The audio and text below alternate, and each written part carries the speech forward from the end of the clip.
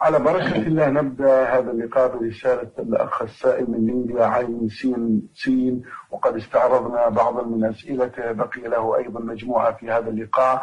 يقول فضيلة الشيخ هل من السنة الإفطار على كبد الأضحية في عيد الأضحى أم الإفطار على لحم الأضحية دون تخصيص الكبد؟ بسم الله الرحمن الرحيم. الحمد لله والصلاة والسلام على رسول الله على آله وأصحابه أجمعين. أما بعد فإن السنة أن أن يفطر من لحم أضحيته يوم يوم الأضحى. لأن النبي صلى الله عليه وسلم كان في عيد الفطر يأكل قبل أن يخرج إلى المصلى تمرات يظهر الإفطار نعم. من رمضان. وأما في عيد الأضحى فإنه لا يأكل صلى الله عليه وسلم حتى يصلي ويذبح أضحيته فيأكل من لحمها ويأكل ما شاء من لحمها من كبدها أو من سائر لحمها. المهم أنه آه، يؤخر الأكل حتى يصلي حتى يذبح أضحيته ويأكل منها. هذا هو السنة. نعم.